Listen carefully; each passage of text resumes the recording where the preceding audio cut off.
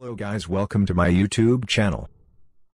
ਹਾਂਜੀ ਸਤਿ ਸ਼੍ਰੀ ਅਕਾਲ ਜੀ ਕਿੱਦਾਂ ਸਾਰੇ ਠੀਕ ਠਾਕ ਹੋ? ਤੇ ਅੱਜ ਆਪਾਂ ਗੱਲ ਕਰਾਂਗੇ ਵੀ ਕਿੱਦਾਂ ਤੁਸੀਂ ਰਸ਼ੀਆ ਆ ਸਕਦੇ ਹੋ ਵੀਜ਼ਾ ਤੇ ਤੇ ਉਸ ਤੇ ਅੱਗੇ ਕਈ ਮੈਸੇਜ ਆਉਂਦੇ ਆ ਵੀ ਤੁਸੀਂ ਰਸ਼ੀਆ ਦੇ ਵੀਜ਼ੇ ਤੇ ਬੇਲਾਰੂਸ ਜਾ ਸਕਦੇ ਹੋ ਜਾਂ ਨਹੀਂ ਜਾ ਸਕਦੇ।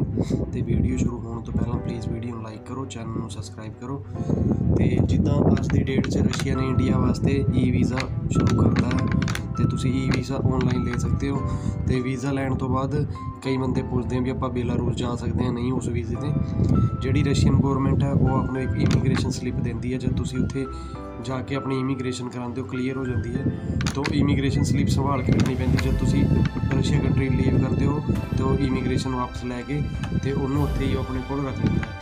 ਤੇ ਉਸ ਇਮੀਗ੍ਰੇਸ਼ਨ ਸਲਿੱਪ ਤੇ ਲਿਖਿਆ ਹੁੰਦਾ ਹੈ ਵੀ ਤੁਸੀਂ ਉਸ ਸਲਿੱਪ ਦੇ ਉੱਤੇ ਬੇਲਾਰੂਸ ਟਰੈਵਲ ਕਰ ਸਕਦੇ ਹੋ ਫ੍ਰੀ ਵੀਜ਼ਾ ਪਰ ਜਿਹੜੀ ਬੇਲ- ਬੇਲਾਰੂਸ ਦੀ ਇਮੀਗ੍ਰੇਸ਼ਨ ਹੈ, ਉਹ ਈਜ਼ੀਲੀ ਐਂਟਰੀ ਨਹੀਂ ਦਿੰਦੀ ਇੰਡੀਅਨਸ ਨੂੰ, ਸੌਖਾ ਜਿਹਾ, ਜੇ ਆਪਾਂ ਉੱਦਾਂ ਜਾਈਏ ਬਿਨਾਂ ਵੀਜ਼ੇ ਤੋਂ, ਕਿ ਰਸ਼ੀਆ ਦੇ ਵੀਜ਼ੇ ਦੇ ਉੱਪਰ ਹੀ ਤੁਸੀਂ ਬੇਲਾਰੂਸ ਟਰੈਵਲ ਕਰਨ ਜਾਓ, ਤੇ ਉਹ ਈਜ਼ੀਲੀ ਐਂਟਰੀ ਨਹੀਂ ਦਿੰਦੇ, ਉਹ ਬੰਦੇ ਨੂੰ ਐਂਟਰੀ ਡਿਨਾਈ ਕਰ ਦਿੰਦੇ ਆ, ਉਹਨੂੰ ਵਾਪਸ ਕਰ ਦਿੰਦੇ ਆ।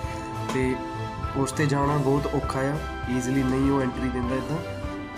ਤੇ ਜਿਹਨਾਂ ਬੰਦੇ ਦੇ ਮੈਸੇਜ ਹੀ ਉਹਨਾਂ ਨੂੰ ਕਲੀਅਰ ਹੋ ਗਿਆ ਹੋਣਾ ਵੀ ਇਦਾਂ ਤੁਸੀਂ ਨਹੀਂ ਜਾ ਸਕਦੇ ਉਹਦੇ ਈ ਵੀਜ਼ੇ ਤੇ ਵੀ ਤੁਸੀਂ ਬੇਲਾਰੂਸ ਅਗਰ ਜਾਣਾ ਚਾਹੁੰਦੇ ਹੋ, ਇੰਨਾ ਸੌਖਾ ਨਹੀਂ ਹੈਗਾ ਉਹ ਐਂਟਰੀ ਡਿਨਾਈ ਕਰ ਦਿੰਦਾ ਹੈ।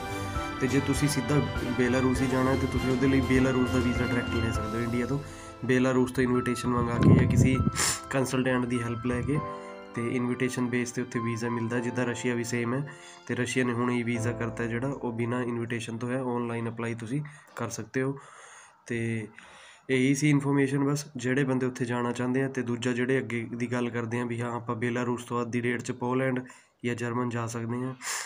ਉਹ ਤੁਸੀਂ ਟਰਾਈ ਕਰ ਲਓ, ਕਰਨਾ ਹੈ ਤੁਸੀਂ, ਪਰ ਉਹ ਇਲੀਗਲ ਵੇ ਹੈ। ਉੱਥੇ ਬਹੁਤ ਮੁਸ਼ਕਲ ਹੈ ਅੱਜ ਦੀ ਡੇਟ 'ਚ ਤਾਂ ਬਹੁਤ ਜ਼ਿਆਦਾ ਹੀ ਸਟ੍ਰਿਕ ਹੋਇਆ ਪਿਆ ਹੈ, ਕਿਉਂਕਿ ਆਪਣੇ ਬਹੁਤ ਲੋਕ ਉਧਰ ਨੂੰ ਨਿਕਲਣ ਦੀ ਕੋਸ਼ਿਸ਼ ਹੋਈ, ਉਸ ਤੋਂ ਬਾਅਦ ਬੜੇ ਪੰਗੇ ਹੋਏ ਆ ਤੇ ਹੁਣ ਉਹਨਾਂ ਨੇ ਬਹੁਤ ਸਟ੍ਰਿਕ ਕਰਿਆ ਹੋਇਆ ਤੇ ਉਹ ਫੜ ਕੇ ਉੱਥੇ ਦੀ ਜੇਲ੍ਹ 'ਚ ਵੀ ਕਰ ਰਹੇ ਆ ਤੇ ਕੈਂਪਾਂ 'ਚ ਵੀ, ਮਤਲਬ ਕੈਂਪ ਉਹਨਾਂ ਦੇ ਇਦਾਂ ਦੇ ਨਹੀਂ ਓਪਨ ਨਹੀਂ ਹੁੰਦੇ ਜ਼ਿਆਦਾਤਰ। ਉਹ ਜੇਲ੍ਹ 'ਚ ਹੀ ਕਰਦੇ ਆ ਬੰਦੇ ਨੂੰ, ਜਾਂ ਰਸ਼ੀਆ ਵਾਲੇ ਜਾਂ ਬੇਲਾਰੂਸ ਵਾਲੇ। ਅਤੇ ਉੱਥੇ ਨੂੰ ਆਉਣ ਤੋਂ ਵ- ਵਧੀਆ ਤੁਸੀਂ ਕਿਸੇ ਚੰਗੀ ਕੰਟਰੀ ਦਾ ਵੀਜ਼ਾ ਲੈ ਲਓ ਵਰਕ ਪਰਮਿਟ ਲੈ ਲਓ, ਬੁਲਗਾਰੀਆ, ਰੋਮਾਨੀਆ, ਕਰੋਸ਼ੀਆ, ਕਿਸੇ ਵੀ ਕੰਟਰੀ ਦਾ, ਜੇ ਤੁਸੀਂ ਈਜ਼ੀਲੀ ਯੂਰਪ 'ਚ ਐਂਟਰ ਹੋ ਸਕਦੇ ਹੋ ਅਤੇ ਉਸ ਤੋਂ ਅੱਗੇ ਤੁਸੀਂ ਸ਼ੈਨਗਨ 'ਚ ਵੀ ਮੂਵ ਹੋ ਸਕਦੇ ਹੋ।